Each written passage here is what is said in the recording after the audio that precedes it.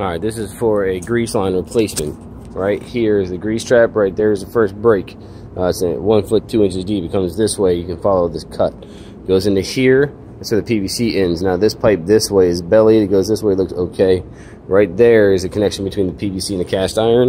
The cast iron is rotted out in the bottom. Now from there, the cast iron is rotted out all the way back underneath to about where, where he's standing.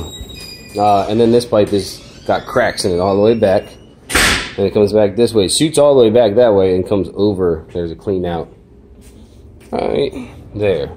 So you're talking about 40 feet of concrete. Uh, end up being a night job, I'm sure.